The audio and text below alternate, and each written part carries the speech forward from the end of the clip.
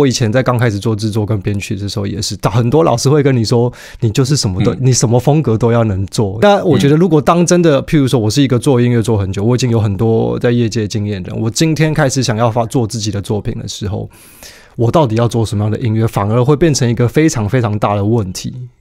怎么去选择自己想要做什么样的音乐，或去专精？其实说穿了，就是你到底爱不爱。嗯，你如果不喜欢，你不可能骗人的，尤其在这个时代。嗯，对啊，你只是学到皮毛，你只是好像觉得这个可以怎么样哦，有有博取流量或者什么就去做那件事，你绝对不会长久的。